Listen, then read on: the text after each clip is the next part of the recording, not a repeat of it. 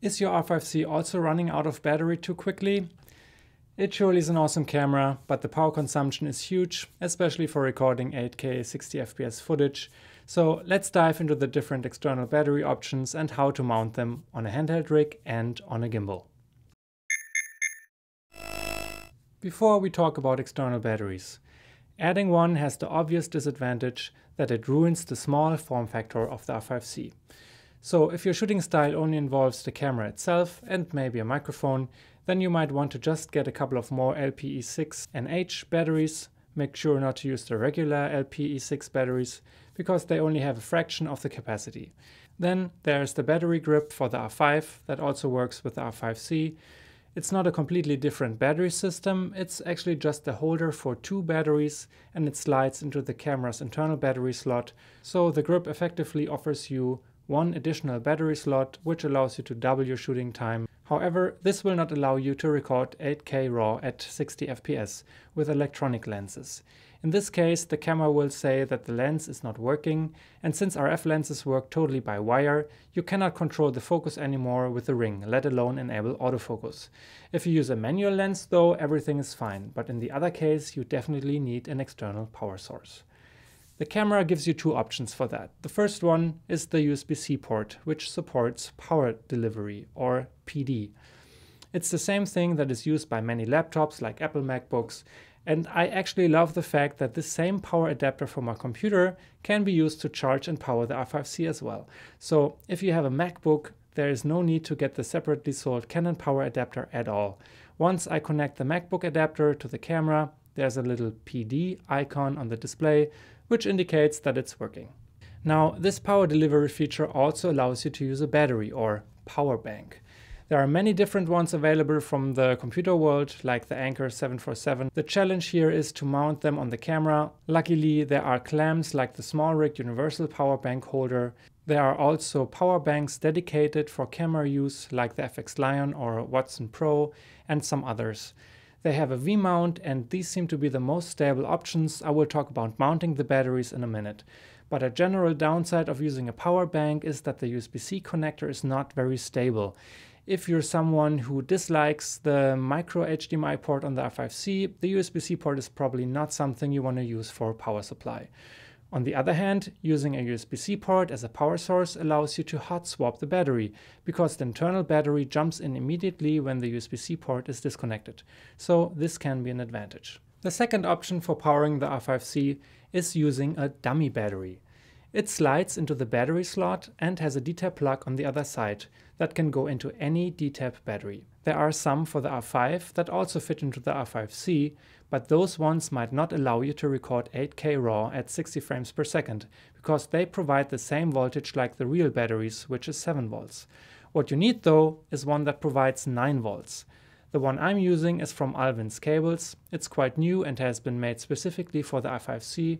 Other ones might appear soon, so make sure to check the video description because I might have added more products by the time you watch this. There are many different D-tap batteries available, so I will not go into the details here. However, they are usually quite big and heavy, but some are not. I'm using the Moman Power 99 V-mount battery that is quite small but still has 99 watt hours and with that I get a shooting time of several hours in my tests in XF-AVC 4K. So in order to decide if you want to use a USB-C power bank or a D-Tap battery with a dummy battery, you have to think about if you need hot swapping, if you dislike the unstable USB-C plug, and if you might need the USB-C port of the camera for something else, like a gimbal. We'll talk about that later. One general hint when testing and using external batteries. The R5C shows an estimation of the remaining shooting time, but that prediction only works with the internal battery, but not with a dummy battery or a USB-C power bank. The reason for that is that a voltage stabilizer is involved here to convert the voltage of the battery to the required voltage of the camera. The D-tap batteries have 14.7 volts, while the camera only accepts 9 volts. And that's why the dummy battery has an electronic circuit that reduces the battery's voltage to be always exactly 9 volts on the camera. While a battery is discharging, its voltage goes down. That's normally measured by the camera to estimate when it's going to be empty. The voltage stabilizer in the dummy battery, however, always provides 9 volts exactly and just stops working abruptly when the external battery is too low. So you have to make sure to check the charge indicator of the external battery itself. Unfortunately, that does not have a shooting time estimator, so you will have to guess that yourself. Product idea. Make a dummy battery that does not provide a stabilized voltage, but a relative voltage, so that the camera could understand the external battery's charge state. Let me know in the comments what you think about this. Whether you decide to use a USB-C power bank or a dummy battery with a D-tap plug, the next challenge is to mount the battery to the camera. There are obviously many different ways you do this. The main question is, I think, how big of a rig do you want to carry around and in which position do you want the battery to be? Should it be at the bottom or behind the camera, somewhere on the top of it? Let's go through it.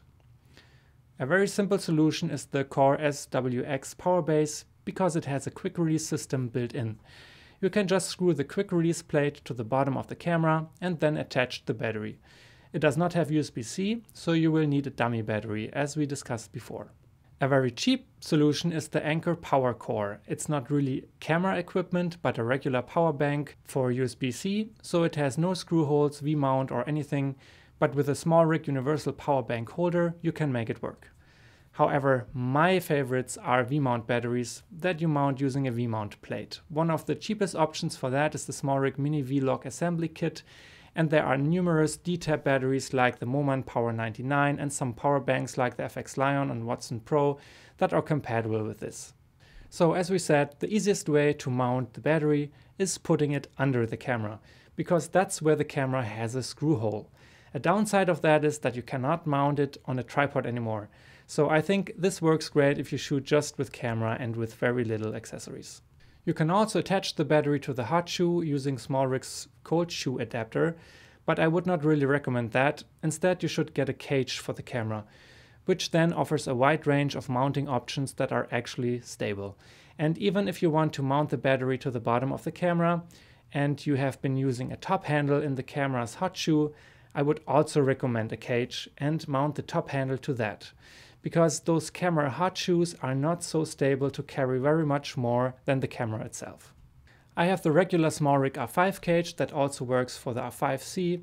There is also the Black Mamba cage specifically for the R5C, but I personally like the original one better. The only disadvantage is that the button number 8 is a bit hard to reach, but you get those additional mounting points in return. What I like best is to have the battery behind the camera. This still allows me to mount the rig on a tripod and leave space on top of the camera free for my top handle and microphone. And the battery on the back side acts as a counterweight for the lens, which is a very good side effect. In my first attempt for this, I used two rods, a quick release clamp, a V-mount plate and a quick release plate for the bottom. This looks like this. The camera cage can be attached easily using the integrated Arca Swiss plate. The downside of this setup is that you cannot reach the internal screen as easily anymore. You always have to open the clamp and take the camera out. It might not be a big deal, however I got this hinge from SmallRig that allows me to fold down the battery so that I can access the screen. This is a lot safer because both parts of the rig stay connected at all times. The battery sits a bit too high in my opinion, so it would be great if SmallRig modified this hinge a bit so that the battery would not reach over the viewfinder, but besides that it works great. I often use an external monitor and other devices on the rig that also need power from the battery, and that's why I got this D-tap splitter from Zitay and mounted it below the battery using this angled piece from SmallRig. The cable of the splitter is normally longer, but I shortened it myself. As far as I know, you can contact Zitay before you buy it and tell them the custom length you would want. Mine is 14 centimeters long and it fits perfectly with the Moman battery. Now let's talk about using the R5C with an external battery on the Ronin RS2. First of all, the Ronin does not power the R5C when you connect it via USB-C, because that port does not support power delivery. It is only meant for controlling the camera. And unfortunately, if you connect the camera to the gimbal, you cannot connect a USB-C power bank anymore. So you either live without the camera remote functions of the gimbal or you use a dummy battery. Right now, the Ronin RS2 does not support the R5C yet, but this will hopefully be fixed soon by DJI. There is a dummy battery made by Zitay that you can plug into the Ronin's USB-C port. Then the camera is powered by the Ronin battery, I don't have this, but I've read that this leads to a shooting time of about 2 hours with a standard battery grip.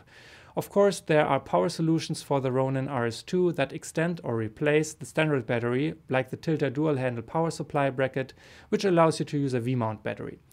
I'm a fan of one battery for everything, so this is very nice. I'm working on a similar setup based on SmallRig parts, but this is a story for a different video. Obviously, all of this makes the rig heavier and more expensive. An alternative would be to use a D-tap or USB-C extension cord and just put the battery in your pocket or on a belt clip.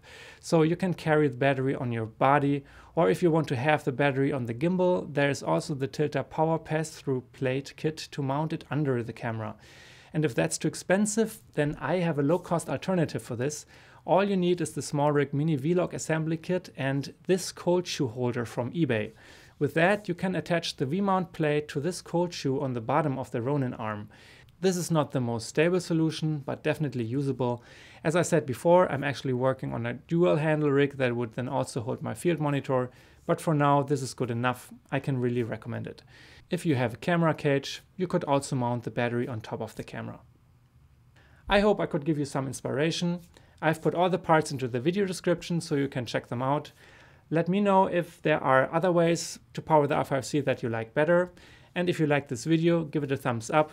If you're interested in more videos like this, please subscribe. See you next time.